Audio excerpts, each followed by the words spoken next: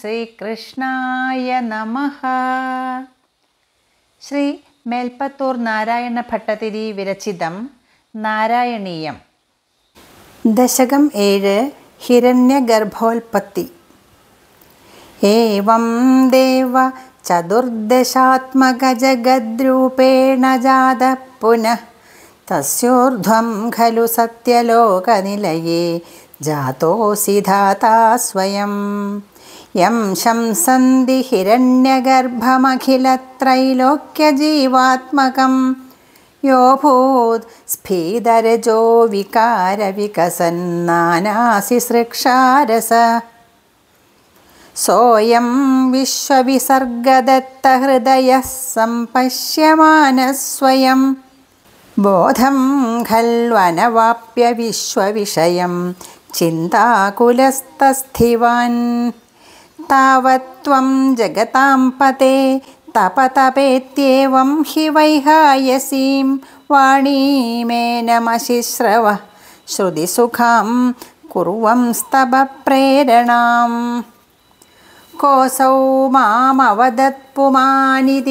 जलापूर्णे जगन्मण्डले दिक्षुद्वीक्ष्य किमप्यनीक्षितवता वाक्यार्थमुल्पश्यत दिव्यं वर्षसहस्रमात्ततपसा तेन त्वमाराधितः तस्मै दर्शितवानसि स्वनिलयं वैकुण्ठमेकाल्भुतम् माया यत्र कदापि नो विकुरुते भाते जगद्भ्यो बहिः।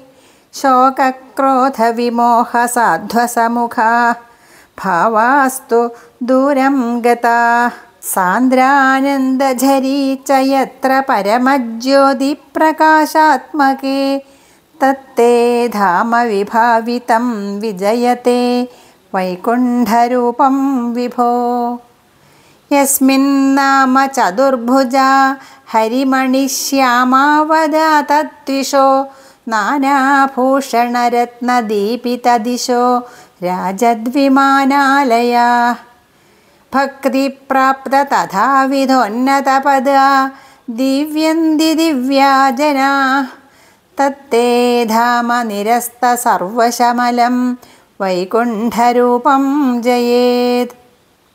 नानादिव्यवधूजनैरभिवृता विद्युल्लता तुल्यया विश्वन्मादनहृद्यगात्रलतया विद्योदिदाशान्तरा त्वल्पादाम्बुजसौरभैककुतुका लक्ष्मीः स्वयं लक्ष्यते।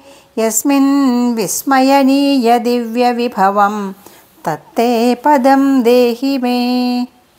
तत्रैवं प्रतिदर्शिते निजपते रत्नासनध्यासितं भास्वत्कोडिलसत्किरीडकडगाद्याकल्पदि प्राकृति श्रीवल्सङ्गितमात्तकौस्तुभमणिच्छायारुणं कारणं विश्वेषां तव रूपमैक्षत विधि तत्ते विभो भातु मे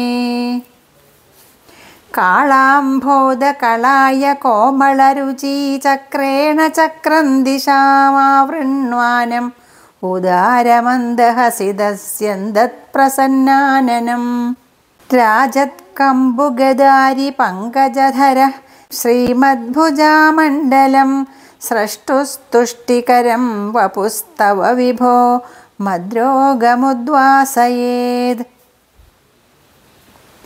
दृष्ट्वा सम्भृतसम्भ्रम कमलभूः त्वल्पादपाधोरुहे हर्षावेशवशं वदो निपतितः प्रीत्या कृतार्थी भवन् जानास्येव मनीषितं मम विभो ज्ञानं तदा पादय।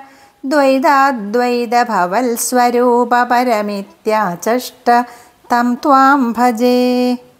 आताम्रे चरणे विनम्रमथतं हस्तेन हस्ते स्पृशन् बोधस्ते भविता न सर्गविधिभिर्बन्धोऽपि सञ्जायते ഇത്യാഭാഷ്യഗിരം പ്രതോഷ്യതിതരാം തച്ചിത്തഗൂഢസ്വയം.